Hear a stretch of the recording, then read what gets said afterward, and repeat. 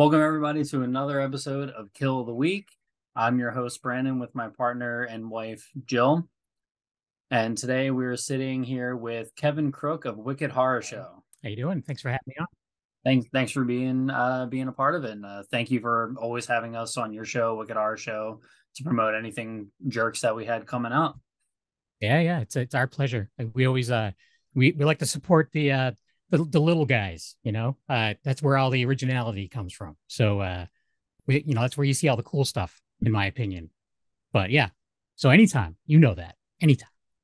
Thank you very much, and, and us and the independent film uh, community are grateful to have people like you in our corner to help push independent cinema. Nice. So why don't you uh, why don't you give a little bit of background of like who you are and what you do? Okay. Uh yeah, my name is Kevin. I'm a big horror fan. Uh I was uh, a music guy for a long time. Uh I did that was my main focus. And uh then as time goes on and you get older and all your bandmates have kids, you know, you need to find something else to keep yourself busy. And uh I love horror movies. I love talking about horror movies and uh you know, decided that I would start doing that. And me and my cousin Leo, we started doing the Dorkening, and then it kind of split off. And because we were doing a Tuesday show, would be more horror, and then the, the, Sunday show would be more like just nerdy stuff. So he took over the Sunday show, I took over the Tuesday show, and there you go. And we have the Wicked Horror Show, and we've been doing this. I don't even know how many years. I haven't been keeping count. It's been a lot. Um, and we we go live every Tuesday night, uh, most Tuesday nights at 9 30 p.m where we have everyone from first time filmmakers up to icons in my mind. Uh, you know, we've had Sid Haig on the show, we've had Dee Wallace on the show multiple times. Um, Kane Hodder's been on, uh, Sean Whalen, but at the same time too, we have people that haven't haven't even made their first movie. They're they're going on to try to get funding, you know, stuff like that. And um, I think that's very important because that's the beginning of someone who may be the next icon. You know, support them from from the beginning. I'm I'm a big fan of uh, seeing progression. You know, so uh, if we can jump in there, then even better. And um, besides that, I'm also part of multiple other podcasts. Uh, Black and White Fright, which is just about classic horror. Uh, that Strange Show, which it's a lot of just horror news stuff like that. Um, and uh, a new one that will be premiering in September called The Reeducation of Nancy Anne Ridder. Uh, so Nancy Anne Ridder was one of the bathroom girls in Scream, and she's over the last couple years she's been doing horror conventions, but she doesn't know anything about horror. So, uh, myself and my friend Jeremy, uh, we are uh, teaching her about the people that she's rubbing elbows with, and uh, and about just horror stuff in general. So we're uh, we've recorded a handful of episodes, and those are going to start uh, being pushed beginning of September. So that'll be that'll be fun. So far, so good. Um, but yeah, that's pretty much all I do. I do that and I work. Hooray! Oh, always with the day job to pay the bills. oh yes. Oh. Hopefully, one day passion can. Uh yeah, that would be nice. I'm I, am i am getting older and older. It needs to hurry up and figure it out because uh, I don't know if that's gonna happen, but we'll see. Uh, there, if there's a will, there's a way. Right. That's how I like to say it. Yep. Uh, cool. So we we invited you on this show. Uh, we asked you to pick a a kill from a movie that it didn't have to be horror, but a kill from a movie that really affected you, one that you really enjoyed, and things like that. So why don't you tell everybody the kill that you picked for us to watch and overanalyze? Yeah. so this was uh this was actually a really tough decision for me. Um, I was trying to figure something out that wasn't going to be like the typical what everyone picks kind of deal. And I was also trying to figure out one that, you know, one of them kept popping up in my head, and I was just like, it's not technically a kill, it's it's a suicide. Um, so it's it's a little it's different, but it's the uh from the Omen. Uh, when uh, it's the first death in the movie, uh, this is all for you, Damien, and she hangs herself and crashes through the window, and uh, that that you know that definitely affected me. Um, the first few times that I saw it, for sure, it affected me quite a bit. How old were you when you first saw it? I don't know because this movie came out when I was one. Uh, so, but I, I think I was fairly young. Uh, my dad is a big horror guy as well. He got me into a lot of stuff. So it was, uh, I, I was definitely too young to see it. Um, it was one of those situations where for the first handful of times that I tried to watch it, I couldn't make it past that scene because I just it was so jarring to me. I'm like, oh my god, like if this is the beginning of the movie, what's gonna what's what's coming next? You know, like that kind of thing. Yeah. Luckily, you know, it's it's not really that crazy, but as a kid, that's something that sticks with you. You know, there's there's definitely a few scenes out there that I'm like, no matter what, this is going to be terrifying in my eyes, even though that like effects maybe don't hold up anymore. It's still like certain scenes will stick with you if they, if it if you know it affected you early enough in your mind. They look different, you know. Oh, for sure. I mean, we we watched it fairly recently before uh jumping on the call, and for one, both both of us haven't seen it since what college probably. it's been a while, and completely forgetting how early in the movie that the kill was.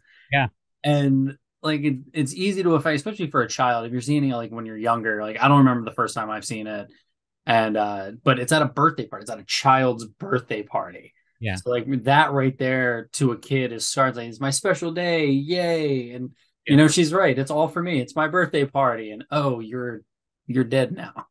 Yeah, yeah, and all the kids are like freaking out, and it's uh yeah. So like the the father is like this politician, and he's got he's well to do, and they're talking about him eventually running for president, all this other stuff, and it's it's uh yeah. They're over in the UK and he's there. I, I don't even remember what his job is, but um, but he's over in the UK, and the kid he's like he's adopted, and um, it's uh yeah, it's uh there's a, bits of the story I didn't remember, so I'm glad I watched it again too. Um, but uh, yeah, there's there's a lot. There's things that actually I think still affected me, like that I didn't remember was from this movie like the fear of Rottweilers, like mm-hmm. as a kid as well, because they're they're scary dogs, and you know they, at least they were. Uh, I they... love I love dogs in general, but yeah, any giant headed dog is uh, like approaching you can be a little scary, especially as a child. Yeah, especially one that's like staring at you like eye to yeah. eye. yeah. Yeah. The dogs didn't even do anything. We were like, nope, that's scary. That's not okay. Dog is yeah, staring at me. I don't like it. Yep. Every every pit bull I've ever met has been the sweetest dog ever. But that first interaction, I'm like, is this dog gonna like eat my face? Like it's yeah. it's a possibility. Or tell me to jump out of a window. What is it? Yeah. Where are we gonna get at? Yeah. Oh yeah, yeah. It's uh it's but at the same time too, you know, they're they're they're great. And it's just a stigma that uh is planted in your brain. And movies like this help that stigma. Movies like Cujo. Oh yeah. a, a, line that always stuck out to me from this is going to go far left, but like talking about dogs, uh, if anyone remembers the movie Corky Romano with Chris Kattan, there mm. there's a it's a terrible comedy from the early 2000s, but there's a part where he goes like undercover for his mob boss dad, who's Peter Falk, to like get rid of evidence against him, and he gets like abducted by these drug dealers, and he's like bound to this chair, and there's these like attack dogs, and his day job is he's a veterinarian, and he loves animals Meanwhile, his whole family is associated with the mob, and he didn't choose that path. And they have these like Dobermans that are like barking at him. And he always said this line that stuck in my head, and like thinking about it with this movie, it was like, you know, bad dogs aren't born; they're made. And meanwhile, this Doberman's about to rip his face off. And yeah. that's what I hmm. was thinking about with this fucking Rottweiler staring at this lady. Like, yeah, no, well, you're yeah. made. You're yeah. a hound from hell. Oh, totally. Yeah. And then even growing up, like, uh, you know, my friend Matt, one of his best friends, like I met the kid a couple times, was named Damien. And whenever my dad's like, oh, his, his friend's named Damien, you know what that means? And I'm like, uh, you're not doing anything. Like, uh, but so things like that. And then you would see a Rottweiler. My, my dad is a, is a, is a jokester as well. So he would like always nudge me along kind of deal. He's great. Um, but yeah, it, it's, uh, it really it stuck with me. And like it, like I said, there was a couple other ones that popped up in my head, but I kept going back to that one, and it, uh yeah, I think that may have been that and like like stuff from Poltergeist. I think stuck with me first. You know, those were the earliest for me, and uh, you know, that the one thing from Poltergeist is the guy peeling his face, and it's just like as a kid that looked so good. Now it's a it's basically a Muppet covered in meat, and it's just like it's it's not very good. It's you know it doesn't look good, but it, I still love the movie. Um, but as a kid, I was like, oh my god, that's crazy. There's maggots and everything. This is crazy. And it's funny that you bring up Poltergeist too, because uh, you know when when we were rewatching it, we're watching the casting and everything come on the credits, and I was like, oh holy shit! Like this movie's directed by Richard Donner, who did Goonies, and then the music was uh, done by Jerry Goldsmith, who did Gremlins, and then meanwhile you have this like kind of Spielbergian crew that all latched together to make this movie in the 70s to go on to work with Spielberg later and you know with Spielberg you know shadow directing Poltergeist and that was an Amblin picture. It's just funny how you brought up Poltergeist with that yeah. too all connected. And, and it's weird I, I I still I know everyone's theory but uh, in my mind I because Texas Chainsaw is my favorite I, I'm I'm giving credit to Tobe Hooper. I don't care. I'm gonna do it. Um, but uh, yeah. So I, I, have to. I have to just because I'm like, all right. Well, he he he's responsible for two of my favorite horror movies. Well, Spielberg said he directed it. So if Spielberg said that Tobe Hooper directed Poltergeist, then Tobe Hooper directed Poltergeist. Right.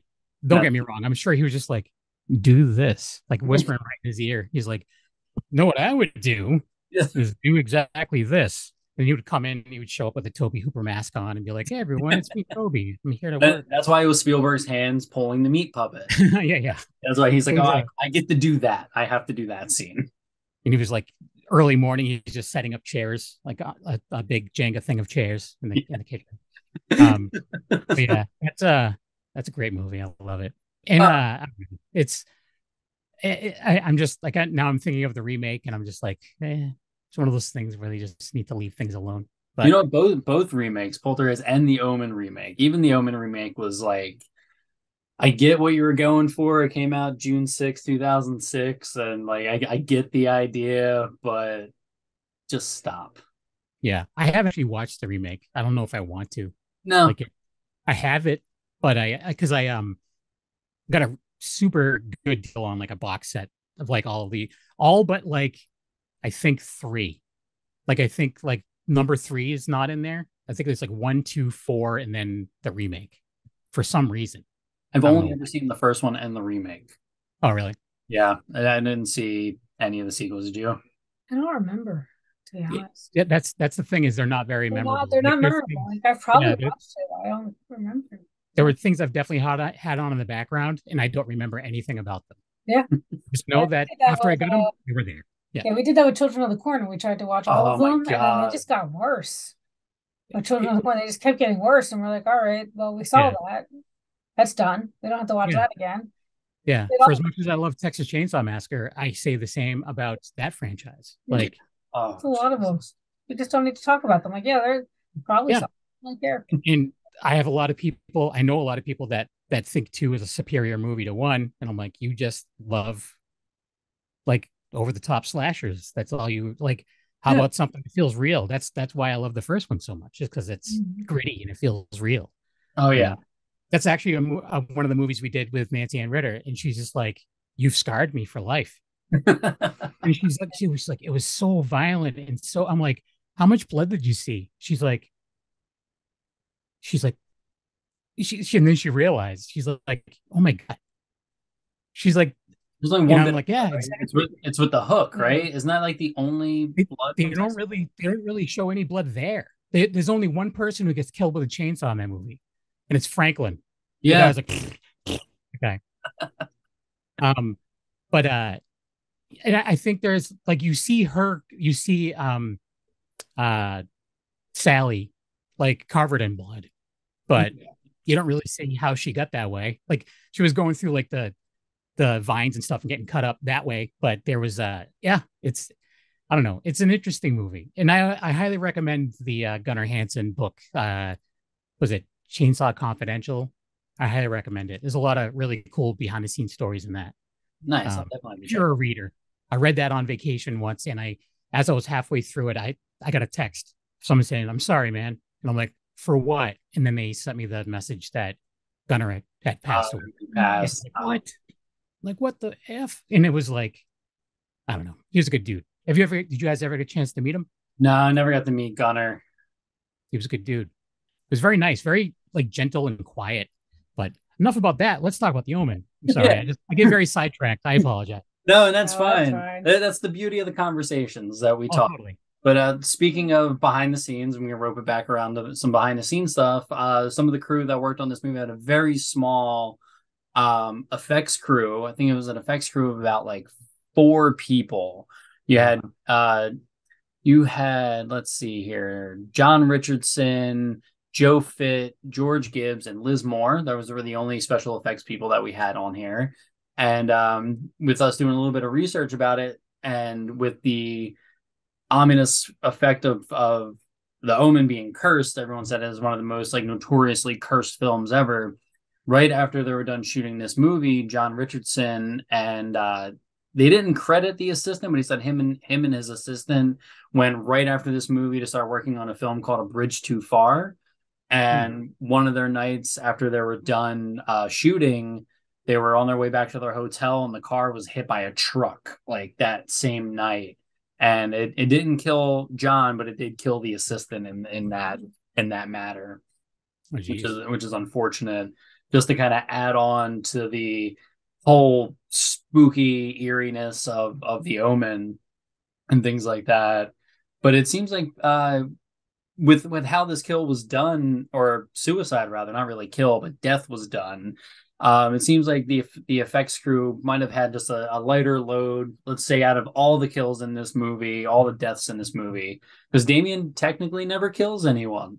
Right. he, he's just kind of there and it all happens by accident yep but uh, this might have been like the easiest in terms of just throwing a weighted dummy off of a off of an edge, and it was weighted down so much that it reverted back and crashed directly through the window behind him. And I think that for me was the most effective part of yeah. this kill or death rather. Is like okay, yeah, she hung herself and and that, but no, that the weight of the body coming back and smashing that window yeah. I think is what really and swinging back through it, so everyone oh. could see her body again. Yeah, all the kids could be like, "Oh, there she is again." Yeah, yeah. I think it's actually the moment before you see her when you keep hearing her call his name, and you yeah. hear this voice, but you don't know where it's coming from, and you're looking around and you're watching everyone. You're like, "Okay, it's clearly not the mom talking. We see her. We see all these faces. Like, where is it coming?" Like that anticipation leading up to it, because it is such a quick moment, but that you just hear her off in the distance and just keeps calling for him and you're just like looking around like who the hell is calling the kid? And yeah. there she is ready to you know roped up and mm-hmm. ready. And i actually like we were talking about you know like the blood and all like there's no blood. She just drops. It's yeah. not bloody. It's not morbid and really isn't morbid. a lot of blood in this movie really yeah. like the beheading i guess is probably the most blood you see and it's that's not a lot of blood there either. Mm-hmm.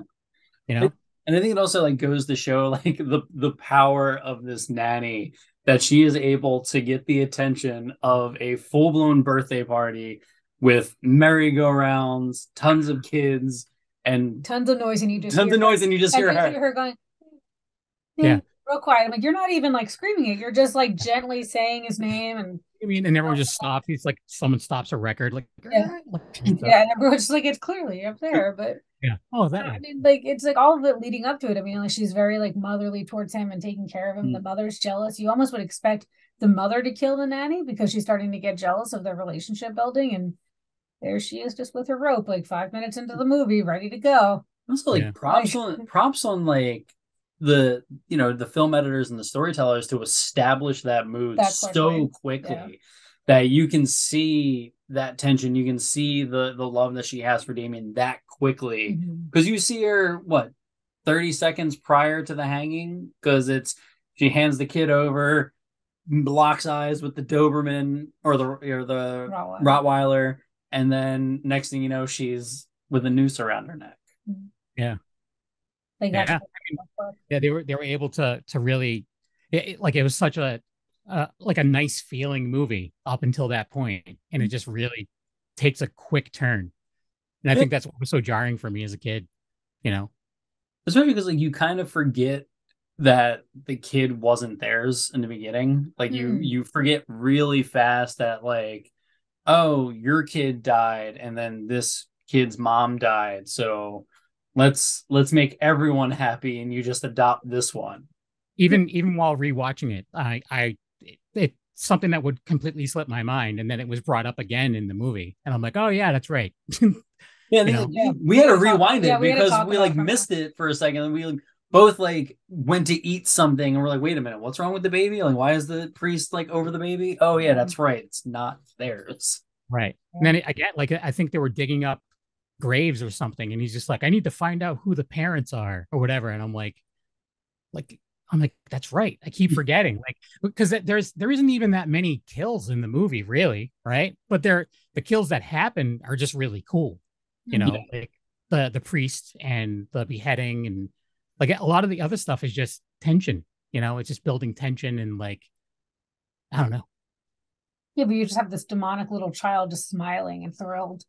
Yeah. I think it actually would have been more disturbing. I know that they dyed his hair they thought dark hair would be more demonic. I think a little blonde haired boy would be scarier. Yeah. Like I, I mean, just Children of the Corn is right. They're all blonde kids. Exactly. Yeah. I don't know. I wonder what that conversation was when they're like, no, brunettes are demonic, not blondes. yeah. I mean, we've learned later on that, you know, like redheads are also demonic dolls too. So, I mean, That's I don't know. I, don't know. Children, I think children are just scary in general. Children are just terrifying. So I, I agree. I agree. Um, yeah, in in horror movies, like yeah, if you get a, a good like child actor in a horror movie, like that, I it's terrifying because it's like almost like like what are you really gonna do? Like it's a oh, kid, oh, yeah. you know. That's why like I love when movies will take like a risk and like do something that you just don't, don't see. It's a lot of foreign movies will do that. Like um, there's a movie called Terrified. Um, it's on Shudder, but there's like legit for a majority of the movie. There's a little there's like a kid a dead kid sitting at a table who's just like rotting throughout the movie. Oh, nice. and like Del Toro, uh, Guillermo Del Toro was supposed to like remake it or like produce a, an American remake, and I'm like, they shouldn't. The movie's amazing, but they shouldn't because that's one of the creepiest part of this movie is not going to be in it. They're not going to do that in an American movie. No, if they want to release it in a theater, they're not going to do that. I don't know. I feel like the I feel like the limits have been pushed I, I feel like we're we're inching further and further because the world is becoming so desensitized because like mm-hmm. like even even in this movie like some of the things that were seen as like crazy ridiculous like, like the impaling or like the beheading and things like that or the or even the baboons like those things that are meant to be so scary like the animals and stuff i feel like what was scary and what did this come out 90 or 70 76, 76? Yep. And so like what was like terrifying then and being so exposed to it, it's just been desensitized, desensitized. And now it's like pushing the limits of what people can do. So I think uh, I think a kid like a rotting body at a table will be fine because they kind of did it in Dead Silence, the James Wan flick. Yeah. Where they had the dead puppet boy that was we, there. Yeah, we didn't see him till the end. No, the perfect it, doll or whatever. It, it, was a very quick yeah. glimpse, but it was a rotted puppet boy. Yeah, like there's like close-ups of this kid's face, like in in Terrified. Like it, it's a, uh, recommend it if you haven't seen it. Like I, I watched it and I was like, I'm gonna buy this movie right now. And like I found like physical copy of it, and I'm like, all right, it's going on the shelf because I, I liked it that much. I was like, I can watch this whenever I want because it's on Shudder, but I want a physical copy because I love it. So Oh, um, yeah. yeah. So it's good. I recommend it if you have Shudder. Um, but uh, I don't know. It's uh, it, it's it's it's tough. There's you, you get some movies that really push it and no one complains, and you get something that's like very nothing and people flip out. People just need to make up their mind what they're going to be offended by. Um, I don't know because I mean I love the fact that Terrifier 2 did so well in their their very limited run broke records and you know set a precedence for independent filmmakers you know they they you know they can make original stuff that's gonna sell and you know push big movies out of the number one slot for that weekend you know? And uh you know and there's a lot of insanity in that movie. There's a lot of crazy like very violent scenes in that movie but there's been other movies that you know are half as violent as that that people like get upset about Oh I yeah, I don't get it. Well, because I think I think in in terms of like Terrifier specifically, they set a predecessor to, to where art was fun. Like mm. art had a personality, which is which was like the same thing with like Freddy Krueger in the '80s. He had a personality. Yeah, that's true. So yeah, like, there was some stuff in some of the Nightmare on Elm Street movies that are definitely pretty pretty insane. Oh uh, yeah, yeah, and those were older. It's but, that same char- It's that same characteristic. Is like you give them a personality versus like a blank canvas, and it's like, oh, this one's cracking jokes, or I can laugh at this one.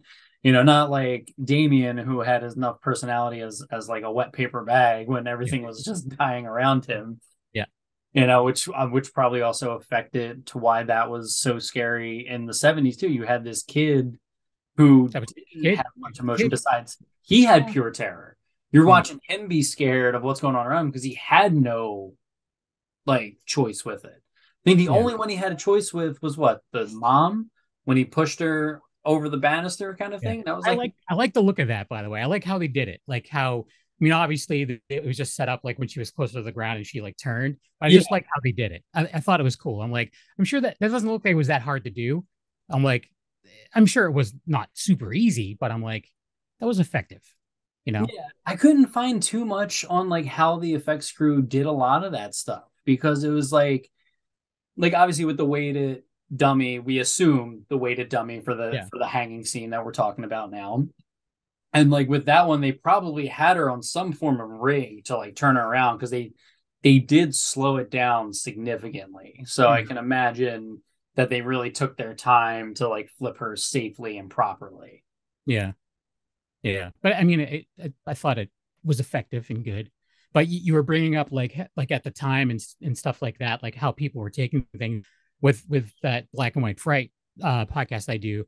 We're watching movies from like the 20s 30s 40s 50s and so same deal. We're like if we were watching this as a kid now we'd be like this is nothing you know? But like we have to think about like they're in a time where they just got like automobiles or something like this is like imagine this being like like great like this is just a big stop motion gorilla climbing up a building yeah but they've never seen anything like this before yeah. Like, like, like the first time we saw Jurassic Park, like how real everything looked.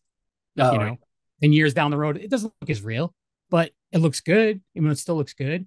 Uh, you know, so it's like we have to kind of get in that mindset and be like, I can just imagine, you know. And luckily, my my dad's still around. He's in his he's in his 80s, but um, he got to go to a lot of those kind of movies in the theater. Like he got to go to the movies where um, I forget the dude's name. I, I think maybe something castle or whatever, where they would uh, have like, William Castle. Yeah, they would have ghosts flying down the whatever, like shocking yeah. chairs. He got to go, go to those in the theater. And oh, um, so you know, oh, we talk, would talk about it all the time. I'm like, hey, we're doing this movie. He's like, oh, I remember I saw that at uh, you know whatever, blah blah blah. You know, things and like Angler and things like that. Yeah, yeah. So, yeah, it, it, it is it is tough, but uh, you got to really kind of put yourself in that mindset thinking back in that mindset of the time period and and effectiveness there yeah. like you know there's been numerous hangings yeah, across films like throughout the decade and this one in particular being so early on and still being so effective even to this day i think if i were to have seen it if i would have seen it in the 70s and seen that on the big screen, I think I probably would have ran out of the theater mm. with something like that. I'd be like, because you've never seen anything like that, especially not at not at that time frame. Yeah, I mean, it was it. They referenced the movie a lot, like in, I guess, pop culture. You know, because I I remember watching like really early, like I used to I loved SNL, so I'd watch like old like reruns from the first couple seasons, and they would mention like Damien and stuff like that. Like they would they would mention The Omen, um, and I was like, wow, it, it really had that much of an effect. You know, that's that's pretty cool. I mean, and I guess that was all until The Exorcist came out, and then everyone forgot about The Omen, right? Yeah, yeah, pretty much. Yeah. Pretty much, yeah. yeah Regan yeah. kind of took over. Well, I yep. think he was just louder and more intense, and I think Damien was totally. just quiet little creepy boy smiling at everything, and that's oh, to yeah. me it's much scarier because I think especially with the kill that we're talking about, like it's not graphic. It's not it's not like bloody graphic. It's so quick. It's so almost innocent with how she's lovingly looking at him. And it's just so dark about it that it's just that's scarier to me. Like I think like at this point we've kind of been desensitized to how much blood can be shoved in a screen and and how scary that mm-hmm. could be. And that something like this where it could just happen that quickly where she's holding him and then two seconds later she's she's up there ready with a rope With Yeah. we didn't have we didn't have to see the build up. We didn't have to see her tying the rope. We didn't have to see her climbing out the window. You just see her there and just how scary that is. Oh yeah. And I think they really Yeah. let you just like the anticipation of like like I said before, like just hearing her voice but not knowing where it's coming from and all of the children are just staring up at them. We're like, oh well, they're scarred for life. That's great. And you Oh, know, totally, like totally. it's just like I mean, we've talked before about making like shorts of like all the uh what are we gonna do with like all the the final girls like them in a therapy session? Oh Of, yeah. like I, I had this know, idea of um horror therapy, and the show would be final girls from franchises talking to a therapist and about explaining all the shit they went what, through. what- So like what they went through. yeah, so like I also imagine like those kids being there, like, well, I was there was a clown and he was weird, and then there's this girl hanging, and that's weird, and Everyone know. hates my name. Yeah. Because like think like one of the other things that this movie had an effect on was the name Damien. oh yeah, Oh yeah. really associated with demonic child. Yeah. Uh, so I was actually trying to research because like it's it's said that I was doing research about the movie and like he was named after um what what was it? It was like he was named after like a priest, uh like a saint that like a Father Damien. And I was like, okay, Father Damien had to have been demonic, right? Like you had to have picked some kind of like horrible name. But all I can find is really nice things about this guy, Father Damien, that died of leprosy and helped people in the Hawaiian Islands and was trying to help them through their, Hmm. you know, they're dealing with leprosy. So I'm like, so how did you pick this really nice guy to now Yeah. name after a demonic child? Like I feel like I haven't found something in the story yet. Uh Yeah. Even even like when, you know, they were going to church and um, you know, the new nanny or whatever was just like, Oh yeah, we're just gonna go to the park, whatever. And then they mentioned it was like an Episcopalian church. Like I I was like grew up Episcopalian and like like one of the like jokes that everyone used to say was like uh, it's like Catholic light, like Catholic with half the guilt, because it's like it's it's a pretty like chill religion. I mean, it's don't get me wrong, I I'm not part of it anymore, but it's like it's not as like strict and stuff like that as as a lot of the other religions. So I was like, he's he's reacting like that to like an Episcopalian church. I'm like, wow, this kid's really messed up. Like, you know, but it, it so even that like I didn't as a kid, I wouldn't really know that. Like I wouldn't really like because I didn't really know because I was just a kid who thought every church was the same when I was a little kid, you know. But even that, like I wonder if that was even something that played with people that knew about religion, you know. But Maybe, yeah. Like one of those like weird undercuts, you know, like Yeah. subtlety Especially with him being named after Father Damien, like when we were researching, uh, the writer David Seltzer named him was gonna name him uh Domlin after like a childhood friend who was like it was a it was a friend's child that was Oh, like a this like friend's it child. was like a brat child that he's like, oh well, I just need like a little asshole kid. Like that kid's a little asshole. And I was like, that's not Was it his wife that's said it wasn't nice. Yeah, I was like, that's totally something we would do. It's just like I need what kind of what kind of child's an asshole? This one. Yep. That Yeah. one right in front of me. And uh I love the it. good thing is, is that you know you don't. I've never heard of anyone with that name, so it's not like it would affect anyone. Yeah. What was it, Domlin? Domlin. Domlin. Domlin, yeah. It would have affected one guy. That's Yeah. about it. Yeah. One One dude's dude known David and be like, man, you suck. Yeah, yeah. Something very common like Jeff. Oh my name's Jeff. demon Jeff. Oof. It just sounds. Still I still want to see him as a little blonde, creepy child. Ah, you know, Like You know it's who just would your look- own version. Yeah. yeah.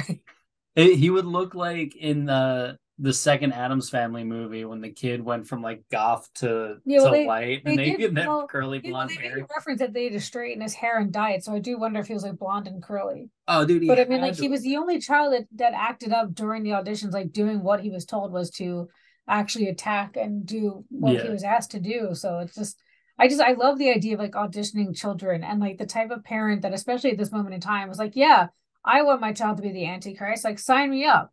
yeah. Depends on the people. Like, if, if we had a kid, like, absolutely, let let's jump right in line.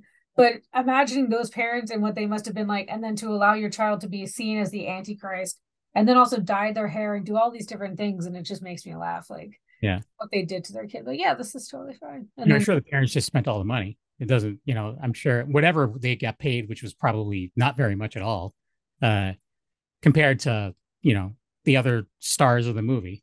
oh Um, yeah, yeah, yeah. Gregory Peck, who was Yeah. notorious before that time. Yeah. All all I can remember is uh, like, because his voice was like I know that they would do I, I don't know if it was like old Looney Tunes cartoons, but they would reference like celebrities Mhm. and stuff. And I can always like it's, a, it's like a perfect imitation of Gregory Peck, like in some of those cartoons. And I'm like, it's like spot on. And like I don't know if I've ever seen him in anything else, honestly. I remember seeing him in this was like years ago, uh, To Kill a Mockingbird. Okay. He was like the main guy in To Kill a Mockingbird. And when I was looking him up of other things that he did, uh, he was in the original Cape Fear for De Niro. Oh. Oh my God. Yeah. We actually we did that for Black and White Fright. Oh, nice. And I, I want to say because he there's a lot of scenes where he doesn't wear a shirt and we're making fun of the fact that his pants were up around his tits. That's what we were saying like the whole episode because it was like back with the barrel chested dudes who were like, Yeah. you know, like it, it was really good, by the way. That that movie's really good. I've never seen the original. I've only seen the De Niro cut. Yeah and um and somewhat the movie Fear with uh Mark Wahlberg is also very similar to to Cape Fear. Not as good, obviously, but uh uh very similar premise.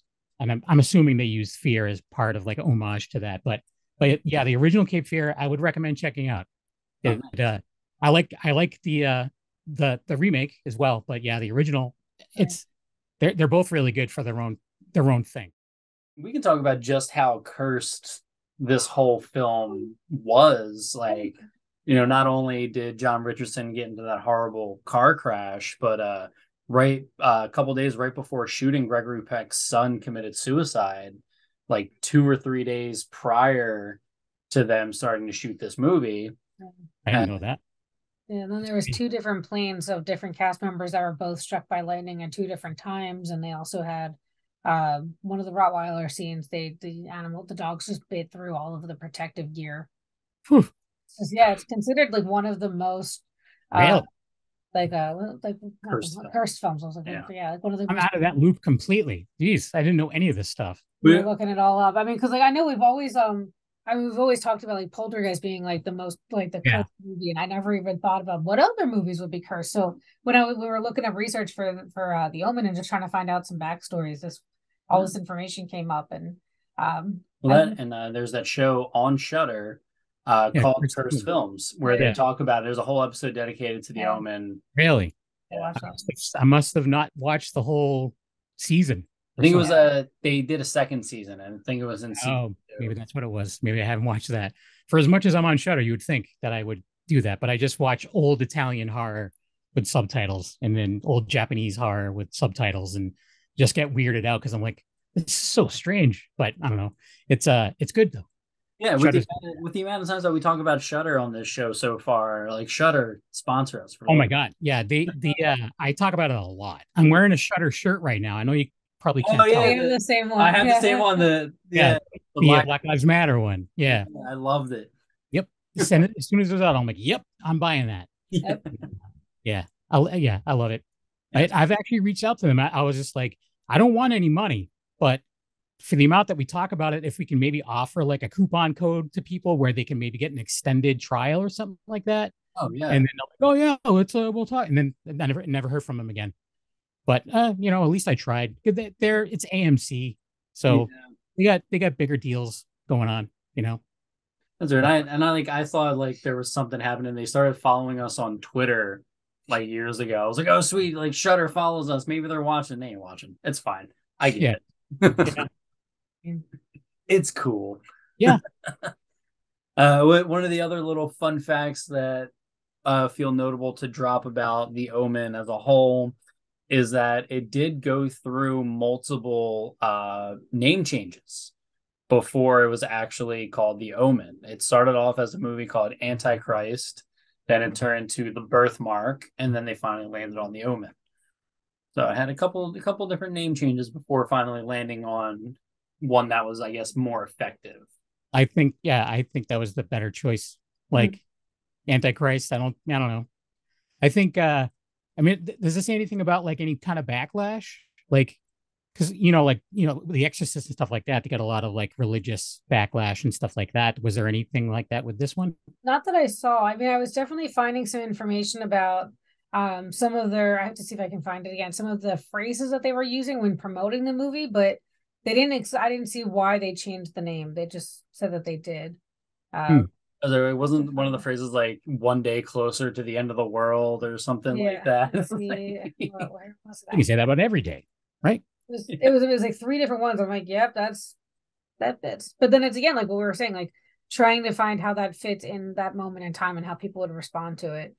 I have to. Oh, yeah, it. like- I like- know if able to find it right now. like taglines, I think were especially important for these types of movies. Like horror in general, taglines are so important. And then realizing, like, it always made me think of like Goosebump titles because I feel like a title of a Goosebump book was like a tagline for a movie from like the 1930s, like "Say Cheese and Die," Mhm. you know, things like that. Yeah, and the one thing too is, I, I guess '76 and you know around that time was probably, I mean, it was probably like a big deal that Gregory Peck was was in a horror movie, uh, Oh yeah, You know, because it's it was still kind of a at that time. I think it was still kind of like one of those things like you're doing horror movies, whatever. Like, Yeah, he did say like when I when I was reading up on it that he felt like this was at a point of his career where it was starting to decline. Oh. Like th- this was kind of like like he hit his peak and then it's like okay, I'm now doing this because you know it was such bad juju to do horror movies back in the day. you know, little did they know. Yeah, Yeah. exactly. I mean, The some of the shit they brought on to themselves, like the bamboo scene, like the the baboon scenes. I mean, Yeah. Um, so we were. I was reading about like how they set it up and how they basically starved the baboons the night before so they would be more aggressive the next day, and then they put meat inside of the car and around the car, and then they kept multiple of the baby baboons in the car so they thought the adults would get mad that their babies were kept from them. I was like, yeah, that must have been a brilliant idea. Nothing, Yeah. nothing could go wrong there. It's Uh, genius. So, uh, so the mom screaming i- is her literally screaming because it got out of hand. And so I'm like, okay. So some things when we say it's the most cursed movie, some things were Yeah. freak accidents, like the lightning on the plane, and then some I'm like, kind of should have seen this Yeah. coming with. The, the curse was the person that made that decision Yeah. part of the movie. That was the Yeah. curse. They Yeah. think like, let's just starve the animals. That'll get a better reaction. Like again, things that would only happen in 1976 versus today. Right. It would have. And it, I mean, it was filmed in the UK too, so I'm sure they maybe had different rules. Uh, oh yeah. Yeah. And also the weird thing, so he was ambassador. That's what he was. He was an ambassador in the UK. How can you be an ambassador in the UK when you are so American? Well, he was an aba- he was an American ambassador. Very okay. Yeah. Yeah. I, I thought he was Yeah. like Like you know, like if you go to a, a another country and you get in trouble, they they they'll bring you to the uh, uh like, yeah the ambassador because they're there to represent the people from your country kind of deal. okay, yeah. uh, My brain went to a significantly higher title. Oh to yeah, yeah. Wait a minute. Yeah, they were talking about him running for president soon, and it's just like yeah, that's a big jump. you know, like something just is in quite off with your line Yeah. of work, sir. yeah, The wrong It's country. pretty uh pretty awesome house for being an ambassador too. Like how much Oh, does yeah. that pay?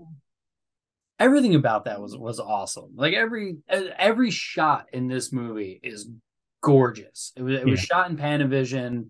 It's so soft and muted. Everything to look at in this in this film is so nice. Yeah, there was even like uh there was shots where like earlier in the movie too where he was sitting in a hallway and it was like a really close up shot of like the side of his face, but it was still it gave you enough room where you could see all the way down the hallway, like but with the the, the nice bokeh and everything like that. It just was very artistically done. You know, it just looked really good.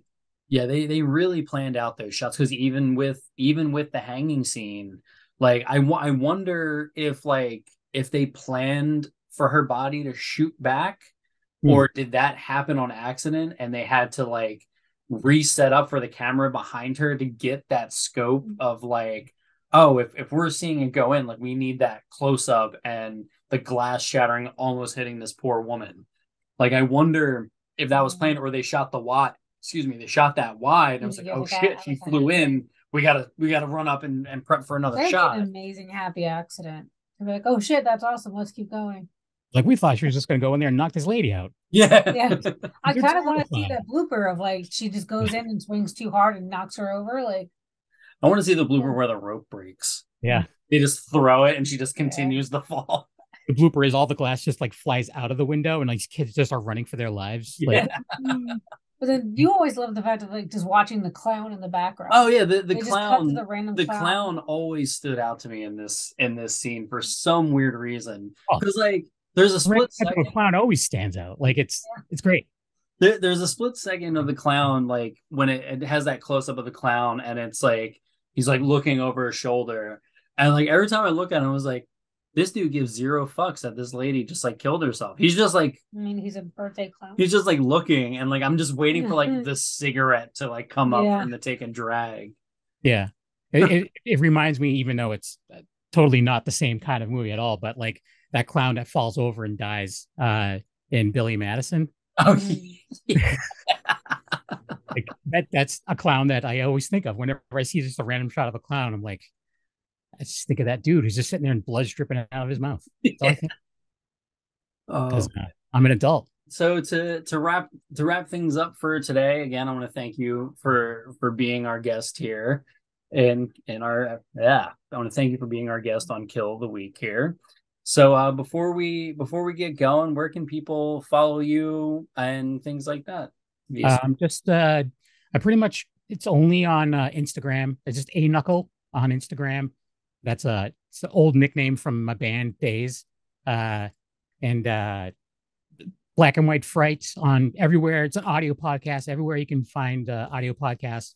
Uh, Wicked Horror Show is on YouTube and Facebook live Tuesday nights, and then uh, the week after the audio goes up for a regular audio podcast. Um, that Strange Show. Uh, it's kind of we take little hiatuses here and there, but same deal. Everywhere you can find podcasts, and um, uh, the reeducation of Nancy Anne Ridder is going to be both video and audio, and just be on the lookout for that in uh, September. Don't know the exact date yet, but uh, that's what we're shooting for. And uh, other than that, um, you know, I'm just you know watching British television or Shudder. That's all I'm doing. Awesome. And thank you guys for having me on too. By the way. Of course, of course. We we want to, you know, bring as many people that we enjoy talking to and having fun with into this weird new adventure that we're having. This is our first time putting together like a web show podcast and just want to have some fun with it and talk with good people who know their shit. Nice. Cool. Well, I appreciate it. So thank you again. And you can follow all of our stuff at Jerks Productions on literally everything, or you can follow my personal Instagram at Falcone six six five. I think it is. I don't. I think that's what I am. And what about you? Um, in addition to making the horror movies, I also run a bakery. It's 8213 Desserts. Oh. And you can follow everyone there and get caught up on everything that we have going on. So thank you, and we'll catch you guys next week for a new episode of Kill of the Week. Every two weeks. Every two weeks.